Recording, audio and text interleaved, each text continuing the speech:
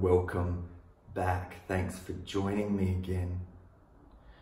Today, we're speaking about the power of language or lang gauge.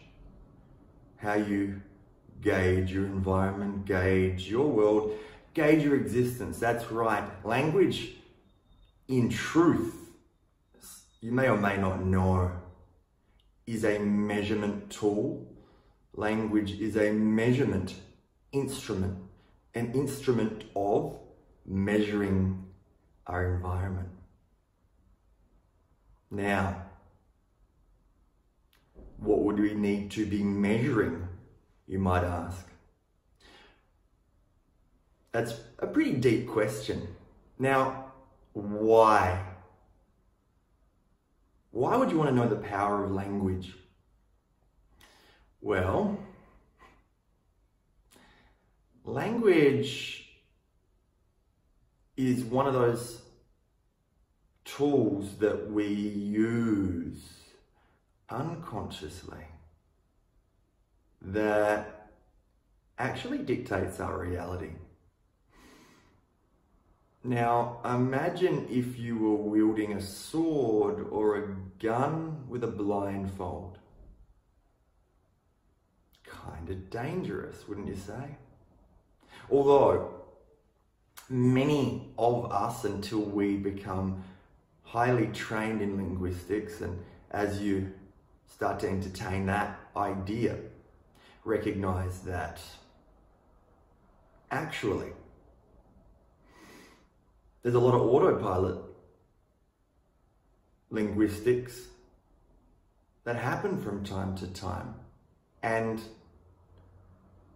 if you aren't trained, you could be doing some damage. And I'm not even saying damage to, you know, others, although I'm, I'm sure at some point in time you may have uh, said something where you've quote unquote put your foot in your mouth though there's a lot more to language than foot and mouth disease, or at least lack thereof, being able to use it with intent and volition.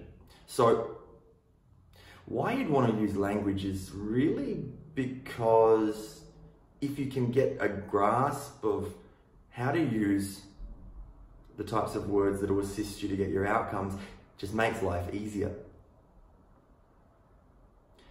we can from time to time use language that actually makes our life more difficult. Now I don't know about you, but from what I've noticed, life can can sometimes become difficult without us making it more so. So, what specifically do you need to know to really enhance the power of language.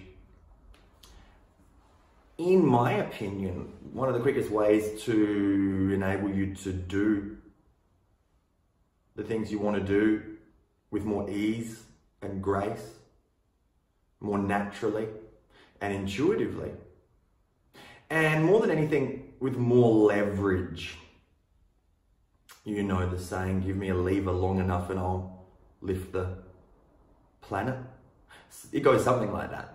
And um, yeah, we can really have far more leverage. Extend that lever arm so that from the standpoint of physics and, and from a mechanical equation view, that uh, principle of least effort if you can put that small amount in and make a huge impact, would that not be interesting to you? I know I'm absolutely fascinated about language and I'm super passionate too. And that's part of what this is all about, sharing that passion with you to enable you to make your life easier. So part of the what, what you need to know about language will just start, just an entry level of they're known as ling, ling, linguistically, they're known as hypnotic language patterns,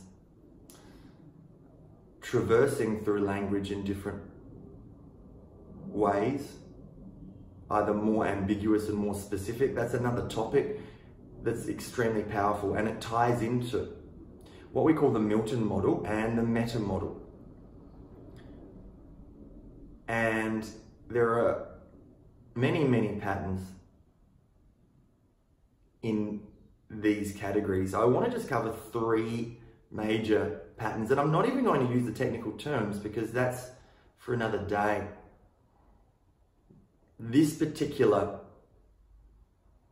broadcast is all about the power of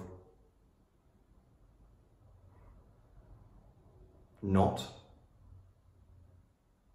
try, and yet. Now, if you've listened to any of my episodes on the unconscious mind, we're getting into the how now, how, how to use these patterns. If you've ever used any of those broadcasts on the unconscious mind, you may have picked up one, one of those things that I will mention sometimes more often than not, it's that your unconscious mind cannot process negations. Negations. If I tell you, don't think about that orange elephant with the green trunk, what do you think of? Yeah, you can't not think of something until you think about it first. So we know this now that your unconscious mind cannot process negations, and this is extremely powerful. Be very careful where you're using the word not, because unless you want to focus on the not pain or the not suffering or the not difficult situation, rather than the not solution, then